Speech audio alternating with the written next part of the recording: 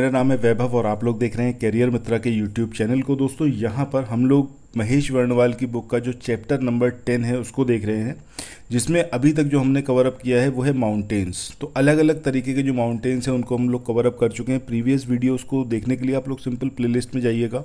वहाँ पर आपको प्रीवियस वीडियोस मिल जाएँगे। पार्ट वन जो है चैप्टर टेन का, वो ऑलरेडी कंप्लीट हो चुका है, जिसमें माउंटेन्स के बारे में हमने सब कुछ जान लिया है किस किस तरीके के माउंटेन्स होते हैं कहाँ कहाँ कौन कौन से माउंटेन्स हैं जो काफ़ी इंपॉर्टेंट है एग्जामिनेशन के पॉइंट ऑफ़ व्यू से। आज हम जो पढ़ने वाले हैं इस वाले वीडियो में, इसमें हम भू सन्नति यानी कि जियो सिंक्लाइन के बारे में पढ़ेंगे। इसके अलावा यहाँ पर जो हम देखने वाले हैं कि अलग अलग जो सिद्धांत हैं पर्वत निर्माण के, वो किस किस विद्वान ने दिए हैं, इनको हम लोग देखेंगे। इसके अलावा प्लेट्यू यानी कि पठार को हम देखने वाले हैं। ठीक है? चलिए, शुरू करते हैं आज के अपने सेशन को। थोड़ा सा यहाँ पर पेशेंस बना के रखिएगा, क्योंकि आराम आराम से पढ़ेंगे, बड़ा मतलब इंपॉर्टेंट टॉपिक्स हैं ये। चलिए, सबसे पहले यहाँ पर हम बात करते हैं भू सन्नति या फिर जियो सिंक्लाइन की। अब एग्जैक्टली जियो सिंक्लाइन है क्या? यहाँ पर इस पर्टिकुलर डेफिनेशन को ध्यान से समझते हुए चलेगा कि भू सन्नतियाँ यानी कि जियो सिंक्लाइन ये लंबे होते हैं, सक्रिय होते हैं और उथले जलीय भाग होते हैं। ठीक है? मतलब एक जलीय भाग इस तरीके का होगा जो कि उथला होगा, सकरा होगा और लंबा होगा। इनमें तलछटिए निक्षेप, यानी कि जो डिपॉजिट्स हैं तल के साथ में, उसके साथ साथ तली में धसाव होता है। यानी कि डिपॉजिट होगा तली में और तली जो होगी उसमें धसाव होगा। सो इसी को क्या बोला जाता है? जियो सिंक्लाइन जैसे ये आप देख रहे हो यहाँ पर जो इमेज है, इसमें इधर साइड में लैंड है, इधर साइड में लैंड है, बीच में ये जल का पूरा वो है मतलब वाटर बॉडी है। और ये जो है, यहाँ पर डिपॉजिट्स हैं, ठीक है? अभी जो हमारी डेफिनेशन थी, उसके अकॉर्डिंग क्या था कि ये जो पूरा जल का एक भाग होगा, वो कैसा होगा? सकरा होगा, लंबा होगा, और इसमें जो तलछटी है, यहाँ पर डिपॉजिट्स होगा। तो ये जो आप देख रहे हो, ये पूरा डिपॉजिट्स है, ठीक है? और वाटर कैसा होगा? उथला होगा। ये डेफिनेशन है किसकी? जियो सिंक्लाइन की। ज़्यादातर जो फोल्ड माउंटेन्स हैं, वो इसी की वजह से बने जब लैंड दो साइड से बीच में सप्रेस करती है और यहाँ पर क्या है, डिपॉजिट्स हैं तो धीरे धीरे यहाँ से पानी हटेगा और ये जो है, डिपॉजिट्स ऊपर बढ़ना स्टार्ट हो जाएँगे मतलब ऊपर की दिशा में, ठीक है? इसी तरीके से हमारा जो हिमालय है, उसका भी फॉर्मेशन हुआ है। चलिए, अब यहाँ पर जो आप देख रहे हो कि मोड़दार या फिर वलित पर्वतों का जो व्या मतलब इसकी व्याख्या करी गई है, किस तरीके से फोल्ड माउंटेन्स बने हैं, वो व्याख्या जो है भूसन्नति यानी कि जियो संक्लाइन जो संकल्पना है, उसके बेस पर करी गई है। या फिर हम कह सकते हैं कि मोड़दार और वलित पर्वतों की व्याख्या के क्रम में भूसन्नति संकल्पना का विकास हुआ, यानी कि जियो संक्लाइन जो थ्योरी है, इसको दिया गया है। अब यहाँ पर दो जियोलॉजिस्ट थे, एक हैं हाल, एक हैं डाना। इन्होंने इस दिशा में सबसे पहला प्रयास किया परंतु एक सिद्धांत के रूप में इस संकल्पना का जो प्रतिपादन है, वो सबसे पहले किसने करा? हॉग ने करा। सो जियो सिंक्लाइन जो संकल्पना है, इससे कौन कौन एसोसिएटेड रहे हैं जियोलॉजिस्ट? तो उसमें आपके हॉल हैं, डाना है। इन्होंने सबसे पहले प्रयास किया, बट एक सिद्धांत के रूप में किसने बताया, वो है आपके हॉग। चलो, आगे देखते हैं। भूसन्नतियों का पर्वत निर्माण के संबंध होने के कारण कोबर ने इसे पर्वतों का पालना भी कहा है। यानी कि भू सन्नतियाँ इनकी वजह से जो है फोल्ड माउंटेन्स बने हैं। तो कोबर ने भू सन्नतियाँ जो है, इनको क्या बोला है? पर्वतों का पालना बोला है। और जो पर्वत निर्माणक भू सन्नति सिद्धांत है, वो किसने दिया? कोबर ने दिया। चलो, इसके बाद आगे हम देखें कि कोबर के अनुसार टेथिस भूसन्नति के अवसादों के वलन से, यानी कि फोल्ड से हिमालय पर्वत की श्रेणियों का निर्माण हुआ, जो मैंने अभी आपको बताया था कि जो हिमालय पर्वत है, ये कैसे बना? ये बना आपका भूसन्नति के थ्रू ही बना। मतलब पहले यहाँ पर क्या था? हिमालय की जगह पानी भरा हुआ था। दोनों साइड से जब इंडियन प्लेट ने यूरेशियन प्लेट की तरफ़ सरकना शुरू करा और बीच में जो पानी भरा हुआ था, इसमें यहाँ पर पूरा अवसात यानी कि सेडिमेंट्स थे, ऊपर उथला पानी था। तो ये धीरे धीरे ऊपर बढ़ना शुरू हुआ और यही हमारा हिमालय है, जो हम देखते हैं आज की डेट में हिमालयन रेंजेस और इनकी हाइट अभी भी बढ़ती चली जा रही है। रीज़न बीइंग कि इंडियन प्लेट जो है वो यूरेशियन प्लेट को अभी भी प्रेस करती जा रही है, उस दिशा में बढ़ती चली जा रही है। यूपी पीसीएस की बात करें या फिर समीक्षा अधिकारी की, इसमें आपको एक क्वेश्चन ये ज़रूर देखने को मिल सकता है कि पर्वत निर्माण से संबंधित जो प्रमुख सिद्धांत हैं, ये दिए किसने? कौन से मतलब साइंटिस्ट या फिर जियोलॉजिस्ट थे जिन्होंने ये सिद्धांत दिया? अब यहाँ पर ना सिर्फ़ हम इसको देखने वाले हैं, बल्कि हम इसको याद भी करने वाले हैं। अगर आपने कभी देखा हो कि पानी के ऊपर जो गोबर तैरता है, अगर ये एक पानी का हम समझ लें, पानी का तल है सतह है सॉरी ठीक है तो यहाँ पर अगर गोबर ये तैर रहा है तो धीरे धीरे ये एक दूसरे की तरफ़ मूव करना शुरू करता है, यानी कि वो एक दूसरे को प्रेस भी करेगा। ठीक है, जब टकराएगा तो एक दूसरे को प्रेस करता हुआ जाएगा। सो गोबर से आपको कोबर याद रखना है। अब जब आप, मैंने यहाँ पर ये बोला कि इस तरीके से एक दूसरे को प्रेस कर रहा है दैट मीन्स दो लैंड हैं। जो एक दूसरे की तरफ़ मूव ऑन कर रही हैं, अगर हमसे गोबर को लैंड समझ लें तो यहाँ पर जो बीच में अवसाद होगा वो धीरे धीरे ऊपर बढ़ना शुरू करेगा और यहाँ से फोल्ड माउंटेन्स बनेगा। तो इस तरीके से पर्वत निर्माणक जो भू सन्नति सिद्धांत है किसने दिया? कोबर ने दिया। इसके बाद दूसरा है तापीय सकुंचन सिद्धांत। अब जब हम ताप की बात करें, यहाँ पर पर्टिकुलर ये शब्द है जो ताप, इसको अगर आप उठा लेंगे, इससे आपको सीधे सीधे पता चल जाएगा कि जेफ्रीज़ के द्वारा दिया गया कैसे याद रहेगा? जब हम टेम्परेचर की बात करते हैं तो आपने अपने फ्रिज को देखा होगा तो फ्रिज में क्या होता है? टेम्परेचर को कम किया जाता है। मतलब कि फ्रिज का रिलेशन किससे है? टेम्परेचर से। तो यहाँ पर जो फ्रिज ये इसको फ्रिज समझ लीजिए। फ्रिज और टेम्परेचर को आप एसोसिएट कर सकते हो। आप इसको इस तरीके से याद रख सकते हो। इसके बाद नेक्स्ट अगर हम बात करें तो अगला सिद्धांत है आपका महाद्वीपीय फिसलन सिद्धांत। जब मैं यहाँ पर फिसलन की बात कर रहा हूँ तो डेली लाइफ में क्या होता है? डेली लाइफ में आप अलग अलग जगह पर मतलब ऐसा होता है कि अब कभी कभी आपकी ज़बान फिसल जाती है। अभी इलेक्शन हुए तो इलेक्शन में आपने काफ़ी कुछ ऐसा देखा भी होगा कि जो अलग अलग नेता थे, कहीं ना कहीं कुछ ना कुछ बोल रहे हैं, कई बार उनकी ज़ुबान फिसल रही है। तो डेली होता है ये, ठीक है? तो इस तरीके से जैसे ही आप देखोगे महाद्वीपीय फिसलन सिद्धांत तो फिसलन से आप याद रख सकते हो डेली, ठीक है? इसके बाद महाद्वीपीय विस्थापन सिद्धांत की बात करें तो ये है आपके वेगनर। अब वेगनर ने क्या दिया? आपका महाद्वीपीय विस्थापन सिद्धांत, यहाँ पर सिंपल सा एक मतलब अगर आप थोड़ा सा यहाँ पर ध्यान दोगे, विस्थापन और यहाँ पर सिंपल वेग याद रख लो, ठीक है? वेगनर में वेग याद रख लो और महाद्वीपीय विस्थापन सिद्धांत में विस्थापन याद रख लो। आपने फिजिक्स में चाल और वेग के बारे में पढ़ा होगा, ठीक है? एक सदिश है, एक आदेश है। तो वेग में हमेशा क्या होता है? विस्थापन को काउंट किया जाता है, दूरी को नहीं, उसके अंदर कंसिडर किया जाता है। तो इस तरीके से विस्थापन और वेग को एसोसिएट करके आप ये चीज़ याद रख सकते हो कि महाद्वीपीय विस्थापन सिद्धांत ये वेगनर ने दिया था। इसके बाद संवहन, तरंग सिद्धांत की बात करें तो ये होम्स ने दिया था। अगर आप और घर में रह रहे हो तो एक दूसरे को आपको सहन करना पड़ता है। अगर मैं यहाँ से ये बाह हटा दूँ तो ये क्या हो जाएगा? आपका सहन हो जाएगा। तो घर के अंदर यानी कि होम के अंदर जब आप रहोगे तो एक दूसरे को आपको मतलब सहन करना पड़ेगा। इस तरीके से आप संवहन, तरंग सिद्धांत को होम्स के थ्रू याद रख सकते हैं। इसके बाद रेडियो एक्टिविटी सिद्धांत की बात करें। सो ये रेडियो एक्टिविटी सिद्धांत किसका है? जॉली का है। पुराने ज़माने में अगर हम बात करें, जब रेडियो चलते थे तो एक कंपनी थी, जॉली कंपनी। तो जॉली कंपनी के रेडियो बहुत फ़ेमस हुआ करते थे और ये सारी चीज़ें मतलब फैक्चुअल हैं। मैं, ऐसा नहीं कि मैं अपनी तरफ़ से बना रहा हूँ। जॉली वाकई एक रेडियो कंपनी थी। तो यहाँ पर रेडियो एक्टिविटी सिद्धांत को आप जॉली से याद रख सकते हैं। इसके बाद नेक्स्ट आपका है प्लेट विवर्तनिक सिद्धांत, यानी कि प्लेट टेक्टोनिक्स थ्योरी अब ये हैरी हैस मैकेजी पार्कर और मॉर्गन इनके द्वारा दिया गया है। तो इसको तो आप एज इट इज़ याद रखो। इसके लिए कोई ट्रिक बनाने की शायद ज़रूरत भी नहीं है। ठीक है? इसके बाद नेक्स्ट हमारा आता है पठार, यानी कि प्लेट्यू तो एग्जैक्टली exactly प्लेट्यू है क्या?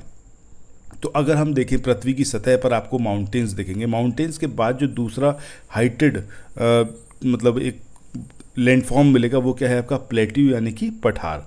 तो ये पृथ्वी पर द्वितीय क्रम के उच्चावच हैं तथा पृथ्वी के एक तिहाई भाग पर अपना विस्तार रखते हैं। पठार, वह उच्च भूमि है, यानी कि हाईलैंड है, जिसका कोई एक ढाल आसपास के इलाकों से अधिक ऊँचा तथा खड़े ढाल वाला हो। अब यहाँ पर इस इमेज को देखोगे तो आप एग्जैक्टली exactly समझ जाओगे प्लेट्यू क्या है। सो so, प्लेट्यू की अपने बात क्या करी कि आसपास की जो ज़मीन होगी उससे ही काफ़ी ऊपर होगा और एक इसका जो किनारा है वो कैसा होगा? तीव्र ढाल वाला होगा। सो so, ये जो आप देख रहे हो इस तरीके से ये है आपका क्या? प्लेट्यू चलो। इसके बाद आगे हम बात करें तो प्लेट्यू यानी कि पठार का और जो इंपॉर्टेंट फीचर्स है, वो क्या है? कि उसका जो शिखर है या फिर जो ऊपरी भाग है, ये कैसा होगा? सपाट होगा और चपटा होगा। पठार के निर्धारण में ऊंचाई से अधिक महत्व उसके शिखर का चपटा होना है। अच्छा एक चीज़ यहाँ पर बताएँ, महेश वर्णवाल की जो बुक है उसके पीडीएफ को एग्जैक्टली exactly मैं नहीं पढ़ा रहा हूँ बट वो जो कंटेंट उसके अंदर दिया हुआ है एग्जैक्टली वही कंटेंट इस पीडीएफ के थ्रू आप देख रहे हो। अगर इस पीडीएफ को आप चाहते हो तो आप टेलीग्राम चैनल को ज्वाइन कर लेना, उसका लिंक मैंने डिस्क्रिप्शन बॉक्स में दिया हुआ है, वहाँ पर ये मैं आपको शेयर कर दूँगा। चलिए, इसके बाद आगे बात होती है कि पठारों का वर्गीकरण। अब ये पहला जो वर्गीकरण है, ये उत्पत्ति के आधार पर है कि किस तरीके से पठार जो है वो डेवलप हुआ, उसका उत्पत्ति हुई। अब इसमें है अंत पर्वतीय पठार। अब जैसा इसका नाम है अंता पर्वतीय पठार, यानी कि ये पर्वतों से घिरा हुआ होगा।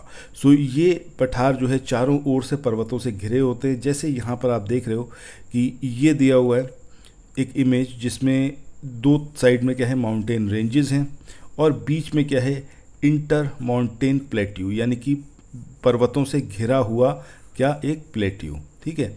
चलो, इसमें आगे देखते हैं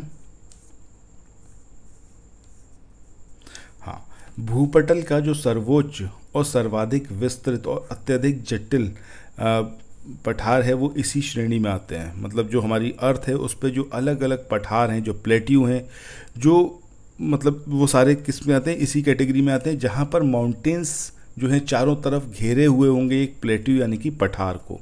इसके एग्ज़ाम्पल की बात करें तो बोलीविया और पेरू का जो पठार है, वो अंत पर्वतीय पठार के अंतर्गत आता है।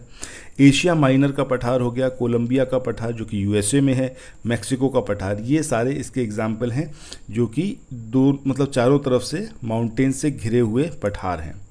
विश्व का सबसे ऊँचा पठार, जो तिब्बत का पठार है, वो इस प्रकार के पठार का सबसे बढ़िया एग्ज़ाम्पल है जो उत्तर में कुनलुन और दक्षिण में हिमालय पर्वतों से घिरा हुआ है। मतलब चारों तरफ़ से वो क्या है? माउंटेन रेंजेस से घिरा हुआ है। कौन? तिब्बत का पठार और दुनिया का ये सबसे ऊँचा पठार है। इसके बाद नेक्स्ट कैटेगरी आती है ग्रीपद पठार। जैसा इसका नाम है, उस नाम से ही आप समझ सकते हो, ग्रीपद पठार। ग्री का मतलब होता है माउंटेन्स तो माउंटेन्स के जो फुट रेंज होती है, वहाँ पर जो पठार डेवलप हुआ है, वो उसकी बात हम कर रहे हैं। तो पर्वतों के आधार पर स्थित पठारों को ग्रीपद का पर्वत पर्वत पदीय पठार कहा जाता है। और ये एक ओर उच्च पर्वतों से घिरे होते हैं और दूसरी ओर ये सागर या मैदान से घिरे होते हैं। अभी जो पहला हमने देखा इसमें हमने बात करी अंत पर्वतीय पठार की तो वो चारों तरफ़ से वो पठार क्या होगा? माउंटेन रेंज से घिरा हुआ होगा। जब हम गिरिपथ पठार की बात करें तो इसमें एक साइड में क्या होगा? पर्वतों से घिरा होगा और दूसरी साइड ऐसी होगी जहाँ पर सागर होगा या फिर मैदान होगा। इसके एग्ज़ाम्पल की बात करें तो पिटमंड पठार जो कि यूएसए में है पेंटागोनिया पठार जो कि साउथ अमेरिका में है। तो ये इसके एग्ज़ाम्पल हैं। इसके बाद नेक्स्ट बात करते हैं गुम्बदाकार पठार की। तो भूपटल में वलन यानी कि फोल्ड की जो क्रिया होती है, इसके द्वारा गुम्बदाकार उत्थान के कारण जो होता है, वो इस प्रकार के पठार बनते हैं। एग्ज़ाम्पल ओजार्क पठार यूएसए में है। रामगढ़ पठार और छोटा नागपुर पठार, ये सारे आपके गुम्बदाकार पठार के एग्ज़ाम्पल हैं। इसके बाद नेक्स्ट यहाँ पर आता है आपका महाद्वीपीय पठार। सो महाद्वीपीय पठार की बात करें तो ये प्रायः पर्वतीय भागों से दूर, किंतु सागरीय तटों पर मैदानों से घिरे होते हैं। यानी कि इनका माउंटेन से कोई मतलब नहीं है। माउंटेन से बहुत दूर होंगे, लेकिन जो सागर के तट हैं, वहाँ पर ये मैदानों से घिरे होते हैं और इनकी उत्पत्ति धरातल के ऊपर उठने या फिर लावा के अपरिमित निक्षेप, यानी कि डिपॉजिट्स से होती है। ठीक है? सो इनकी उत्पत्ति है, वो धरातल, या तो धरातल ऊपर उठ जाएगा या फिर वहाँ पर लावा का डिपॉजिट होगा, जिसकी वजह से वो पूरा प्लेट्यू बनेगा। और इन पठारों को शील्ड भी कहा जाता है। एग्ज़ाम्पल की बात करें तो ये आपका साइबेरिया शील्ड वाल्टिक या फेनो स्केंडेविया शील्ड लॉरेशियन या फिर कैनेडियन शील्ड और ब्राज़ील शील्ड ये उसके एग्ज़ाम्पल हैं। ठीक है? सो इन शॉर्ट अगर हम बात करें तो ये जो महाद्वीपीय पठार है, इनका किसी भी चीज़ से मतलब नहीं होगा, पर्वतों से कोई मतलब नहीं होगा। ये सागर के तट के आसपास जो मैदान है, वहाँ पर ये डेवलप होंगे। डेवलप होने का रीज़न क्या होगा? या तो वो धरातल ऊपर उठ जाएगा, उस वजह से इस तरीके का पठार बनेगा, या फिर वहाँ पर वॉल्केनिक एक्टिविटी होगी लावा वहाँ पर धीरे धीरे जमा होगा, उसकी वजह से इस तरीके के पठार बनेंगे। इसके बाद नेक्स्ट यहाँ पर आता है आपका ज्वालामुखीय पठार। तो ज्वालामुखी के निस्तृप्त लावा के जमाव के कारण बने सपाट विस्तृत भूभाग को ज्वालामुखीय पठार कहते हैं। तो यहाँ पर सिंपल क्या बात हो रही है? यहाँ पर बात हो रही है कि जो ज्वालामुखी यानी कि वॉल्केनों से लावा निकलेगा, वो डिपॉजिट होगा एक जगह और उसकी वजह से ये पूरा पठार बनेगा तो ऑब्वियसली बात है क्या कहलाएगा आपका? ज्वालामुखी पठार। इससे पहले वाला जो हमने देखा था, इसमें हमने महाद्वीपीय पठार की बात करी थी। दोनों में डिफरेंस ये है कि महाद्वीपीय पठार में धरातल ऊपर उठ सकता है या फिर वहाँ पर लावा डिपॉजिट्स हो सकता है। बट ज्वालामुखी पठार में सिर्फ़ एक ही बात होगी कि लावा का डिपॉजिट होगा। दूसरी बात कि वो जो पठार हैं, जो महाद्वीपीय पठार हैं, वो पर्वतों से बहुत दूर रहेंगे अच्छा दरारी उद्भेदन इनकी उत्पत्ति का मुख्य कारण है यानी कि जो बीच में दरार पड़ेगी जिसकी वजह से वहाँ से लावा निकलेगा और लावा निकलने के बाद वहाँ पे डिपॉजिट्स होगा। अच्छा एग्ज़ाम्पल क्या है? दक्कन का पट, लावा पठार कोलंबिया स्नेक पठार जो कि कहाँ पर है आपका? यूएसए में। चलो इसके बाद अभी तो हमने देखा कि उत्पत्ति के आधार पर जो पठार हैं अब हम बात कर रहे हैं अपर्दन चक्र के आधार पर वर्गीकरण। अपर्दन, यानी कि इरोजन किस तरीके से इरोजन हुआ? तो इरोजन के अलग अलग चरण होंगे, उसकी वजह से जो पठार डेवलप हुआ। सबसे पहले तरुण पठार, यानी कि यंग प्लेट्यू की बात कर रहे हैं। तो जिस पर अपर्दन की प्रक्रिया अधिक सक्रिय होती है, वो क्या है आपका? तरुण पठार है। एग्ज़ाम्पल क्या है? कोलोराडो पठार, जो कि यूएसए में है, और इदाहो पठार, जो कि यूएसए में है। इसके बाद नेक्स्ट आता है आपका प्रौण पठार, यानी कि मैच्योर कंडीशन की बात कर रहे हैं। तो इसका जो एग्ज़ाम्पल है, वो क्या है आपका? एप्लेशियन पठार जो कि यूएसए में है। इसके बाद थर्ड कैटेगरी इसमें आती है जीर्ण पठार, जहाँ अत्यधिक अपर्दन के कारण पठार के उच्चावच घिसकर प्राय समाप्त हो जाते हैं और पठार एक पेनी प्लेन के रूप में परिवर्तित हो जाता है। इसका एग्ज़ाम्पल क्या है? मध्य रांची का पठार, जो कि आपका जीर्ण पठार का एक एग्ज़ाम्पल है। इसके बाद आगे बात करें तो पुनर्युवित, पुनर्युवनित पठार, यानी कि एक बार पूरी तरीके से ख़त्म हो गया, फिर से वो पठार डेवलप होना शुरू हुआ, ठीक है? सो यदि कोई पठार जीर्ण अवस्था की प्राप्ति के बाद, यानी कि जीर्ण अवस्था में था, वो एकदम प्लेन हो गया था, पुनः उभार के कारण अधिक ऊंचाई प्राप्त कर ले, दोबारा से वो पठार जो है अपनी हाइट को एक्वायर कर ले तो इस तरीके का जो पठार है, ये आपका पुनर्युवनित पठार कहलाता है। एग्ज़ाम्पल क्या है? मिसौरी पठार, जो कि आपका यूएसए का है, और रांची का पाट पठार। इसके बाद आगे बात करें यहाँ पर, ये काफ़ी इंपॉर्टेंट लिस्ट इसको ज़रूर याद रखिएगा। यहाँ पर हम बात कर रहे हैं कि प्रमुख पठार और उनकी जो स्थिति है, कहाँ पर वो लोकेटेड है। एशिया माइनर की बात करें, तुर्की में है। इसके अलावा अनातोलिया का पठार, ये भी तुर्की में है। मेसेटा पठार, ये आपका आइबेरिया प्रायद्वीप, जो कि स्पेन का है, यहाँ पर लोकेटेड है। चिया पास पठार की बात करें, साउथ मैक्सिको में है। मैक्सिको पठार इसके नाम से ही पता चल रहा है कि मैक्सिको में होगा। अलास्का और यूक्रान पठार की बात करें तो ये भी आपका कहाँ पर है? संयुक्त राज्य अमेरिका में, कोलंबिया पठार यूएसए में, ग्रेट बेसिन पठार, ये भी कहाँ पर है आपका? यूएसए में। इसके बाद नेक्स्ट बात करते हैं, कोलोराडो पठार की, ये आपका कहाँ पर है? संयुक्त राज्य अमेरिका में, ओजार्क पठार, ये भी कहाँ पर है? यूएसए में पिटमांड पठार की बात करें यूएसए में ग्रीनलैंड पठार, ग्रीनलैंड में है। बोर, बो बोरेमा पठार, ये आपका ब्राज़ील का है। ब्राज़ील पठार ऑब्वियसली बात है ब्राज़ील में ही होगा। पेंटागोनिया पठार की बात करें, अर्जेंटीना और चिली में। तासली पठार की बात करें, कहाँ पर है आपका? अल्जीरिया में। इसके बाद नेक्स्ट है आपका अहागार पठार, ये कहाँ पर है आपका? अल्जीरिया में। अदा माव अदा मावा पठार, ये आपका कैमरून, मध्य अफ्रीकी गणराज्य और नाइजीरिया में लोकेटेड है। इसके बाद अगला पठार है यहाँ पर, अबीसीनिया पठार। ये कहाँ पर है आपका? इथोपिया में। उबांगी पठार की बात करें कॉन्गो में है। कोरात पठार, थाईलैंड में है। शान पठार, म्यांमार में है। सो ये सारे आपको याद रखने हैं। ये जो पूरी लिस्ट है, बहुत इंपॉर्टेंट है। एग्जामिनेशन में आपको हंड्रेड परसेंट यहाँ से देखने को मिल जाएगा क्योंकि एग्जामिनेशन में आप देखते हो कि चाहे समीक्षा अधिकारी या फिर Uttar Pradesh P C S वहाँ पर ये ज़रूर पूछते हैं इस तरीके के कौन से माउंटेन कहाँ पर हैं या फिर कोई प्लेट्यू है तो ये कहाँ पर है हम्म, या फिर वॉलकैनो की बात करें तो वो कहाँ पर है। इसके बाद आगे बढ़ते हैं बात करते हैं मैदान यानी कि प्लेन की। तो अभी तक हमने माउंटेन्स देख लिए हमने देख लिया प्लेट्यू अब थर्ड कैटेगरी आती है आपकी किसकी? मैदान या फिर प्लेन्स की। तो ये पृथ्वी के धरातल पर द्वितीय क्रम के सबसे सरल उच्चावच तथा अपेक्षाकृत समतल व निम्न भूभाग हैं। अत्यधिक न्यून ढाल होने के कारण ऐसे क्षेत्रों में नदियों का प्रवाह जो है मंद पड़ जाता है। ऑब्वियस सी बात है, जब उसके अंदर कोई वही नहीं है स्लोप नहीं है। स्लोप नहीं है तो नदियों का जो प्रवाह है, जो उनका फ्लो है, वो ऑब्वियस सी बात है कैसा हो जाएगा, मंद हो जाएगा। सिंपल अगर आप समझो कि ये एक मैदान है, यहाँ पर एक नदी बह रही है तो ये हल्के हल्के ही बहेगी in comparison to this kind of मैदान। अगर यहाँ पर है तो यहाँ पर फ्लो तेज होगा, यहाँ पर कैसा होगा फ्लो हल्का होगा। अच्छा कुछ विशेष प्रकार के मैदान। अब ये कौन कौन से हैं? पहला है आपका पटल विरूपणी मैदान। पर्वत निर्माण के समय जो भूसन्नतियाँ, यानी कि जियो सिंक्लाइन, उसके किनारों पर वलन पड़ने से बीच के भाग अप्रवाहित रह जाते हैं तथा कभी कभी मैदानों के रूप में इनका विकास हो जाता है। इसका एग्ज़ाम्पल है आपका कार्पेथियन। डिनारिक आल्स पर्वतों के बीच जो हंगरी का मैदान है यानी कि जो हंगरी का मैदान है वो किसका एग्ज़ाम्पल है आपका? पटल रूपड़ी मैदान का जो कि आपका कार्पेथियन और डिनारिक आल्स पर्वतों के बीच लोकेटेड है। इसके बाद नेक्स्ट आता है आपका संप्राय मैदान। सो so, जब नदियाँ अपर्दन प्रक्रिया द्वारा अपने आधार तल को प्राप्त कर लेती हैं तो संपूर्ण भूभाग एक संप्राय मैदान में बदल जाता है। यद्यपि इसमें कहीं कहीं कुछ कठोर शैल मोनोडाइक के रूप में दिखाई पड़ते हैं। इसका एग्ज़ाम्पल क्या है? मिसिसिपी बेसिन का ऊपरी भाग, रूस का मध्यवर्ती मैदान, भारत का अरावली क्षेत्र। इसके बाद नेक्स्ट आता है आपका हिमानी निर्मित मैदान।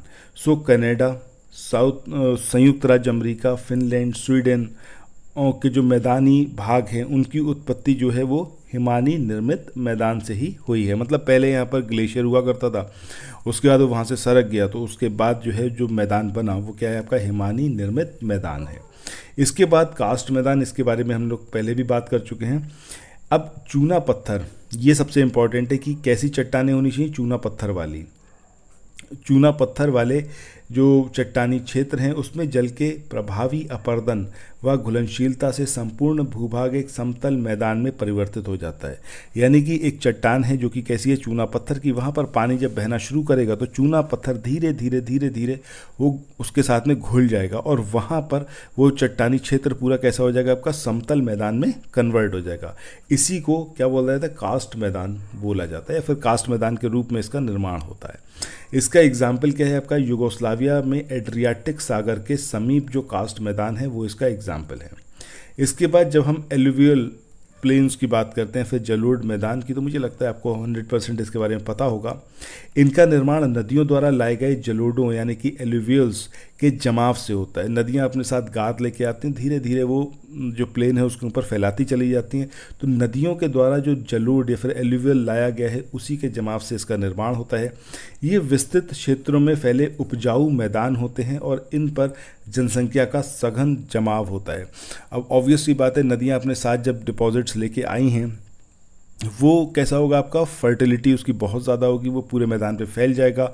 तो उस मैदान की फर्टिलिटी ज़्यादा होगी, वहाँ पर कृषि ज़्यादा होगी, जहाँ पर कृषि ज़्यादा होगी, वहाँ पर ह्यूमन बींग्स का होना लाजमी है, ठीक है? तो यहाँ पर लोगों की जो संख्या है वो ज़्यादा रहेगी डेंसिटी ज़्यादा रहेगी। अच्छा विश्व के अधिकतर मैदान इसी प्रकार के हैं। गंगा ब्रह्मपुत्रा का मैदान की बात कर लें होंग हो और यांगसी केयांग का मैदान, जो कि चाइना में लोकेटेड है, नील नदी का मैदान, मिस्र में, मिसिसिपी का मैदान, यूएसए में, बोलगा और डेन्यूव का मैदान, ये सारे इसके एग्ज़ाम्पल हैं। इसके बाद आगे बात करें लोअस मैदान की। तो ऐसे मैदानों का निर्माण पवन द्वारा उड़ाकर लाए गए बालू, रेत आदि के निक्षेप से होता है। सो अभी जो हमने देखा था एलिवियल प्लेन्स की या फिर जलोड मैदानों की बात करी तो वहाँ पर नदियाँ अपने साथ डिपॉजिट्स लेके आई हैं। जब हम लोअस मैदान की बात करें तो इनका निर्माण कैसे होगा कि वायु या फिर हवा जो है अपने साथ में बालू और रेत को लेके आएगी और उसको धीरे धीरे एक जगह डिपॉजिट करेगी, उससे इनका निर्माण होगा। इन मैदानों में परतों का सर्वता अभाव होता है, परंतु पारगम्यता अधिक होती है। यानी कि यहाँ पर अगर पानी डालेंगे तो नीचे तक वो पहुँचेगा। ठीक है? और इनकी मिट्टी उपजाऊ होती है। उत्तरी चीन, तुर्कमेनिस्तान, मिसिसिपी आदि जो क्षेत्र हैं, यहाँ पर लोएस मैदान देखने को मिलते हैं। इसके बाद आगे बात करते हैं लावा मैदान। जैसे ही आप लावा वर्ड सुनते हैं, आपको क्लियरली समझ में आता है हम ज्वालामुखी की बात करें कि ज्वालामुखी वहाँ पर उद्गार हुआ होगा ज्वालामुखी का। उससे लावा निकला होगा, वो फैल गया होगा, उसकी वजह से जो एक मैदान डेवलप हुआ वो क्या है, आपका लावा मैदान। तो इस प्रकार के मैदानों का निर्माण ज्वालामुखी उद्गार के समय निकलने वाले लावा और अन्य पदार्थों के निक्षेप, यानी कि डिपॉजिट्स से होता है। खनिज पदार्थों की अधिकता की वजह से ऐसे मैदान बहुत ज़्यादा उपजाऊ होते हैं। इंडिया में अगर हम बात करें, दक्कन का जो लावा पठार है, इंडोनेशिया का जो जावा द्वीप में आपका लावा मैदान है, ये इसके एग्ज़ाम्पल हैं। इसके बाद नेक्स्ट यहाँ पर हम बात करते हैं किसकी मरुस्थल की। सो मरुस्थल जो हैं, ये स्थलखंड के शुष्क और अर्धशुष्क भाग हैं। अभी तक जो देखिए हमने माउंटेन्स देख लिए हमने प्लेट्यू देख लिए हमने प्लेन्स देख लिए अब हम आ गए सीधे कहाँ पर? डेजर्ट पर। सो so, डेजर्ट की बात करें शुष्क होंगे ऑब्वियसली बात है ड्राई होंगे या फिर ये सेमी ड्राई पार्ट होगा ये स्थलखंड का यानी कि जो हमारा लैंडफॉर्म है। और ये मुख्यतः उपोक्षण उच्च उच्च दाब क्षेत्रों में जहाँ वायु उतरती है और तापीय प्रतिलोमन की स्थिति मिलती है, वहाँ पर ये डेवलप होते हैं। महाद्वीपीय अवस्थिति या तट से दूरी भी इनकी उत्पत्ति का कारण है, ठीक है? क्योंकि आंतरिक भागों में बढ़ने पर वर्षा की जो मात्रा है वो कैसी होती, कम होती चली जाती है। धीरे धीरे जैसे ही हम समुद्र तटों से अंदर की तरफ़ आते चले जाएँगे तो बारिश की मात्रा कम होती चली जाएगी। ठंडी महासागरीय धाराएँ भी इनके निर्माण के उत्तरदायी कारक हैं। एग्ज़ाम्पल कालाहारी पेंटागोनिया और अटाकामा मरुस्थली चट्टानी, पथरीली और रेतीली तीनों प्रकार के ये हो सकते हैं। मतलब मरुस्थल जो है, ये आपके चट्टानी भी हो सकते हैं, ये पथरीले हो सकते हैं और ये रेतीले हो सकते हैं। इसके बाद देखें तो सहारा का जो हमद मरुस्थल है, अल्जीरिया का रेग और लीबिया मिस्र के जो सेरेर मरुस्थल हैं, सहारा क्षेत्र के जो एर्ग मरुस्थल हैं, ये क्रमशः चट्टानी, पथरीले और रेतीले मरुस्थल के उदाहरण हैं। यानी कि हम चट्टानी मरुस्थल की बात करेंगे तो हमद मरुस्थल, ये इसका एग्ज़ाम्पल है जो कि लोकेटेड कहाँ पर है आपका सहारा में। अल्जीरिया का रेग की बात करें, अल्जीरिया में जो रेग मरुस्थल है और जो लीबिया और मिस्र के सेरेर मरुस्थल हैं, ये कैसे हैं? पथरीले हैं। ठीक है? वहीं सहारा क्षेत्र के जो एग मरुस्थल हैं या फिर एर्ग मरुस्थल हैं, ये आपके रेतीले मरुस्थल के एग्ज़ाम्पल हैं। इसके बाद फर्दर ये लिस्ट काफ़ी इंपॉर्टेंट है। इसमें हम प्रमुख मरुस्थल और उनकी जो स्थिति है उसके बारे में देखेंगे। इधर नाम दे रखा है, इधर स्थिति दे रखी है। सहारा, अब यहाँ पर लीबिया और न्यूबियन मरुस्थल की बात करें तो ये कहाँ पर लोकेटेड है? आपके उत्तरी अफ्रीका में। Barberton, Simpson, Gibson, Stuart, Stony, Great, Victoria और ग्रेट सैंडी। ये जो सारे मरुस्थल हैं, कहाँ पर लोकेटेड हैं आपके? ऑस्ट्रेलिया में लोकेटेड हैं। इसके बाद नाफूद, हमद, रब अल खाली, ये तीनों मरुस्थल कहाँ पर हैं? सऊदी अरब में। गोभी की बात करें, मंगोलिया और चाइना में लोकेटेड है। कालाहारी की बात करें, बोत्सवाना में। तकला माकन की बात करें, सीकियांग प्रांत, जो कि चाइना का एक प्रांत है, वहाँ पर है। सोनोरन की बात करें तो ये संयुक्त राज्य अमेरिका और मेक्सिको में फैला हुआ है। नामिब की बात करें तो नामीबिया में है। काराकुम की बात करें, तुर्कमेनिस्तान में है। थार मरुस्थल, हिंदुस्तान और पाकिस्तान में पूरा फैला हुआ है। सोमाली मरुस्थल की बात करें, सोमालिया में है। अटाकामा की बात करें तो उत्तरी चिली में ये फैला हुआ है। इसके बाद काइजिल कुम की बात करें, उज्बेकिस्तान में है।